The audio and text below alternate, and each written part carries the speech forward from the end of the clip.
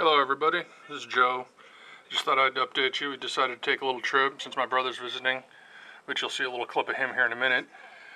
Anyway, I went up to Kansas City to the Ameristar, been playing at the casinos.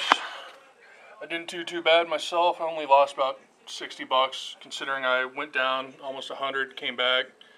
Got a whole lot of players' points because of that, so uh, may get comp something, don't know, probably not because I don't play, but like penny slots, but even though it's like 40 lines at a pull. But anyway, talk to you guys later. Get to see my older brother here. He's a little crazy just like me, so talk to you guys later. Bye.